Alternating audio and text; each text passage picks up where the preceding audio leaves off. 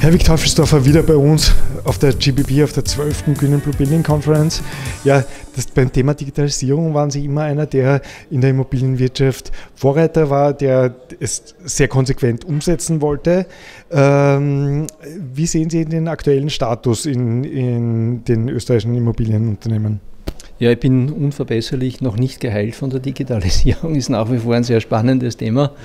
Und äh, ich sage mal, mit steigenden Zinsen vor der Tür und der Änderung im Immobilienmarkt, den man vielleicht jetzt nur ganz leicht spürt, aber der sicherlich in absehbarer Zeit kommen wird, wird das Thema äh, noch spannender. Es gibt noch viel zu tun, wiewohl man sagen muss, dass einige Unternehmen da schon äh, sehr massiv unterwegs sind.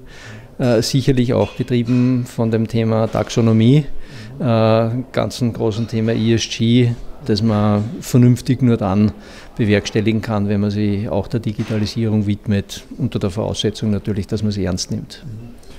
Wenn das Thema Digitalisierung und Nachhaltigkeit haben einen engen Konnex, ähm, äh, wie orten Sie den? Naja, ich glaube, dass das eine oder das andere nicht funktionieren wird. Also insbesondere Nachhaltigkeit nicht ohne Digitalisierung funktioniert. Äh, umgekehrt wird es vermutlich schon funktionieren. Ähm, aber äh, ja, es, äh, Nachhaltigkeit beinhaltet ja im Endeffekt auch eine gewisse Einsparung an Ressourcen. Einsparung an Ressourcen kann vielfältig sein und dazu, um, um das zu schaffen, muss ich Dinge einfach nicht nur anders, sondern schlauer machen. Uh, doing the right things right. Und uh, das ist genau das, was im Endeffekt die Digitalisierung macht. Und da muss man, glaube ich, einfach unterscheiden, uh, ist es wirklich, äh, wie es im Englischen heißt, Digitization, also die, das, die, die Papierform in, in, digitale Form zu bringen. Damit ist noch nichts gewonnen. Man findet vielleicht die Sachen einfacher. Äh, oder ist es Digitalization, wo man dann anfängt einzusparen und die dritte Stufe, wo man dann in Endausbau auch wirklich äh, Geld äh, damit verdient, mit dem, was man macht. Und es geht ja nicht nur darum, einzelne äh, Prozesse, so wie man sie bisher gemacht hat, in anderer Form oder in anderen Medien abzubilden, sondern es geht ja darum, diese Prozesse end-to-end -end neu zu überdenken, sie zu schauen, braucht es unter Umständen auch äh, andere Rollen mit dabei, äh, dass da auf einmal Rollen äh, im Prozess auftauchen, die es vorher nicht gegeben hat, Stichwort Data Steward oder ähnliche Sachen. Und insofern muss man die Dinge neu denken. Es ist ja eine Riesenchance, mal einen Schritt zur Seite zu machen und das zu betrachten, was man bisher gemacht hat und sich ja die Frage zu stellen, warum man es genauso gemacht hat, wie man es bisher gemacht hat. Sie waren für mich immer auch so etwas wie ein Trend Scout in Sachen Digitalisierung. Jetzt haben Sie schon Data Steward genannt.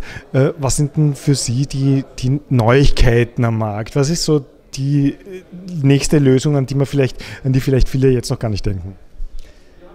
Also Digitalisierung im Sinne von Datenverfügbarkeit ist, glaube ich, ein ganz wesentliches Thema, nämlich so, dass, dass man äh, die Daten in gereinigter Form irgendwo zur Verfügung hat. Früher war das in Form eines Data Warehouse. Äh, heutzutage hat sich das weiterentwickelt, sind halt dann Data Lake Lösungen, die teilweise noch in Kombination mit Data Warehouse verwendet werden. Aber einen Ort, wo äh, eben in diesem Data Lake nur gereinigtes Wasser, sprich die verifizierten Daten aus gesicherten Quellen reinkommen und wo man im nächsten Schritt dann Business Intelligence darauf aufbauen kann, um alle Fragen, die sie tagtäglich im Betrieb eines Unternehmens ergeben, auch beantworten zu können, ohne dass man da 14 Tage lang äh, das Excel knechten muss, um eine einzige Frage zu beantworten. Äh, quasi die Single Source of Truth, ne? Ja, Wobei die, die, die Wahrheit generiert man ja bis zu einem gewissen Grad über die intelligenten Queries, die man dann über die BI definiert selbst. Aber die Basis muss natürlich eine hochreine sein. Nun zur Praxis der SIMO. Wie wichtig ist denn in diesem Bereich das Thema Nachhaltigkeit? Wir nehmen das Thema extrem ernst. Äh, bei uns ist es nicht so wichtig, dass sich der ganze Vorstand darum kümmert, wie man das immer wieder Hauptversammlungen hört. Bei uns ist es so, dass es einem Vorstand direkt zugeordnet ist. Das bin in dem Fall ich. Äh, wir haben äh, jetzt im September diesen Jahres einen neuen Kollegen eingestellt, der das auch studiert hat und wo wir versuchen, wirklich einen äh, ganzheitlichen Ansatz fürs Unternehmen zu fahren und alles das, was es davor schon in unterschiedlichen Bereichen gegeben hat, zu bündeln.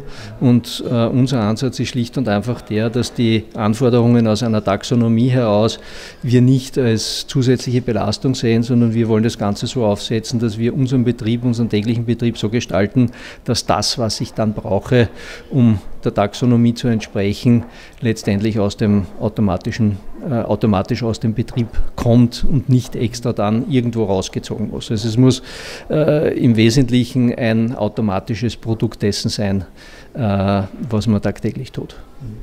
Ähm, wir äh, vergeben ja heute auch wieder die GBP Awards. Welche interessanten, äh, spannenden Projekte in Sachen Nachhaltigkeit ähm, ähm, sind jetzt bei Ihnen so in der Pipeline?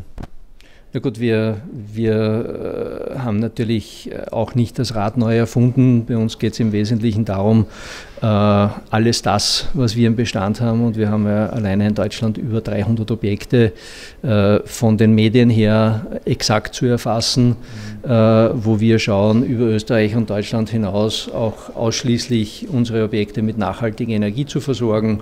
Das Thema BV ist ein, ist ein wahnsinniges Thema und natürlich auch im Zusammenhang mit, der, mit dem CO2-Fußabdruck das Thema Stranded Asset. Das heißt, wir sind jetzt auch gerade dabei, unser ganzes Portfolio zu analysieren und zu schauen, wo welche Maßnahmen notwendig sind, um dann irgendwann in den nächsten Jahren auch sukzessive unseren CO2-Fußabdruck zu verringern. Und das funktioniert halt nicht zuletzt auch am besten, wenn man es parallel zur Digitalisierung betreibt. Vielen Dank. Dankeschön.